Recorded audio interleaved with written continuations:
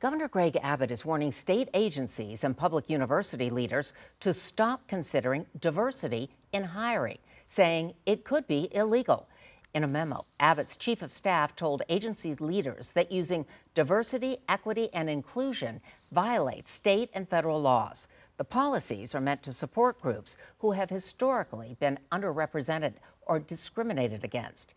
DEI policies not only include workers of color, but also resources for people with disabilities, LGBTQ people, and veterans. In a statement, the governor's office says in part, quote, equity is not equality. Here in Texas, we give people a chance to advance based on talent and merit.